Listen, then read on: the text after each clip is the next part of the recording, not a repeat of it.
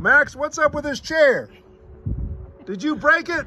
I think Val broke it. Oh my I'm God. not going to take the blame.